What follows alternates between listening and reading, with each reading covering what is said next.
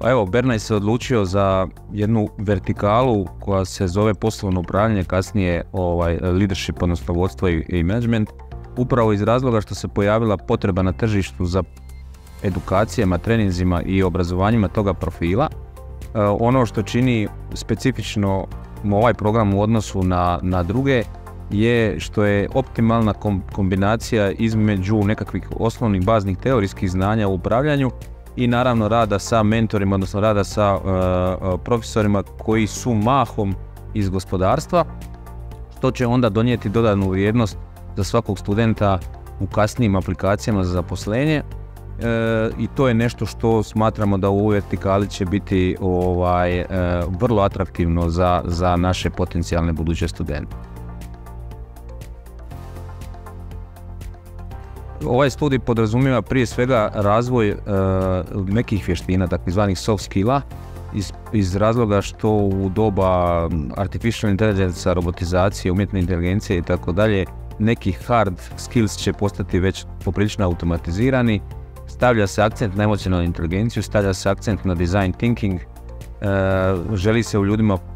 obuditi ta kreativna strana, nešto ono što će uvijek čovjeka razlikovati od robota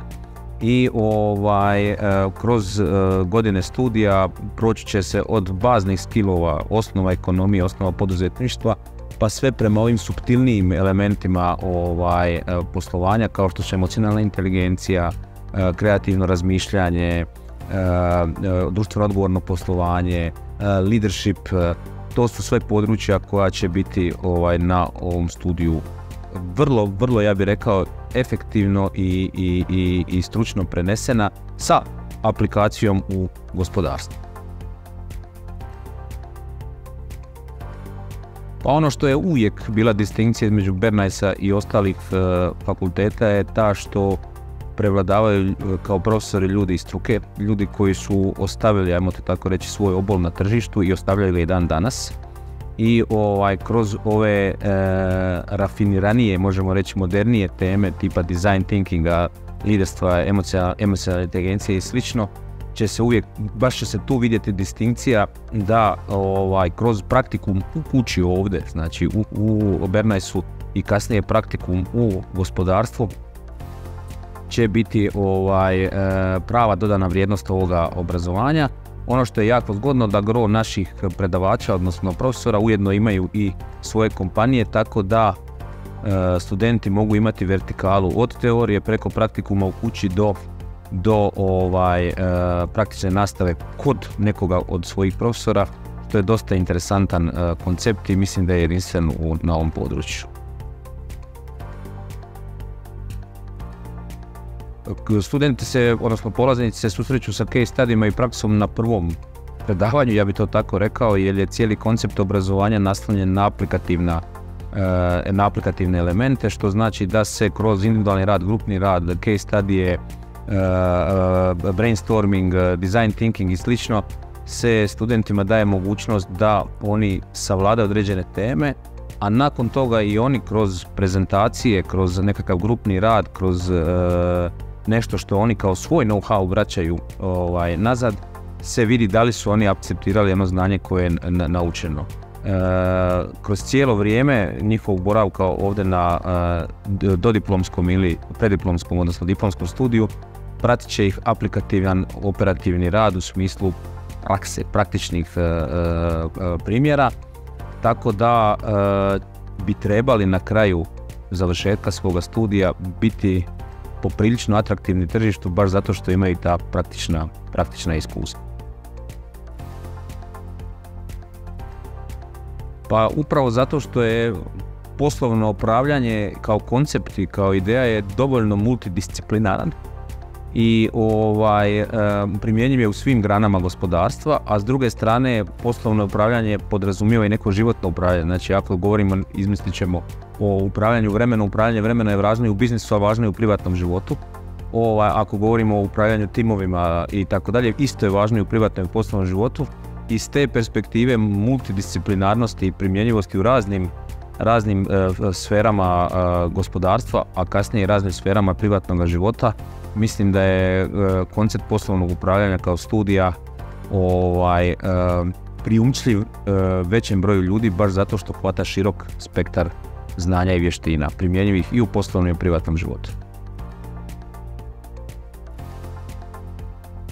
Pa mislim da su dva ključna elementa su praktična nastava u kompanijama partnerima koji su redom mahom renomirane kuće u Hrvatskoj i okruženju, a s druge strane naravno tu su i Erasmus mogućnosti, odnosno mogućnosti razmjene znanja i vještina u zemljama partnerima. Pokazalo se do sada da i studenti koji dolaze iz stranih zemalja u Bernajs i naši studenti koji odlaze u strane zemlje dobivaju nezaboravna iskustva i ovaj e, čini mi se da će ta multikulturalnost e, biti nešto što će biti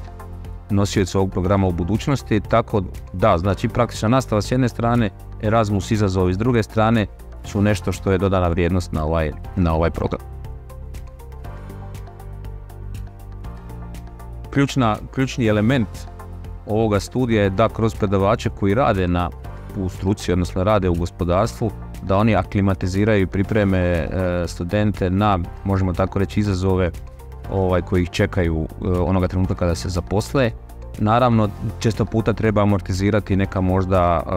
očekivanja koje studenti imaju, a, i dalje zadržati u njima strast prema onome što bi trebali raditi.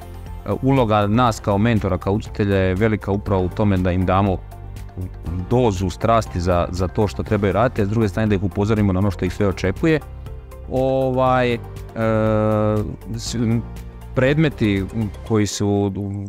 provlače, možemo tako reći, kroz obrazovanje e, i od onih baznih statistike, matematike, osnove ekonomije tako pa sve do onih subtilnijih, subtilnijih koji smo spominjali prije, su biti jako dobra priprema za ono što ih čeka. Ne znam, kroz analizu financijskih izvještaja u biti čovjek uđe u sve elemente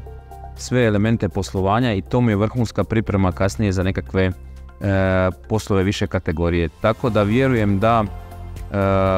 u kombinaciji studentske želje i volje da rade u, u, budućnosti u toj industriji za koju se pripremaju i naše želje i volje da ljudima damo cijeli overview ovaj, onoga što ih očekuje će biti plod dobrih profesionalaca u budućnosti u ovom području. možemo reći da su dva ključna elementa. Jedno je e, kurikulum koji zadovoljava potrebu tržišta, s druge strane zajedno s tim profesori koji su sa tržišta i onda ono što je najvažnije ta partnerstva sa kompanijama koje kasnije su budući poslodavci e, našim studentima. Taj recimo TRIS je nešto što čini razliku između Bernajsa i ostalih e, obrazovnih institucija a vjerujem da su to naši studenti do sad i prepostavili.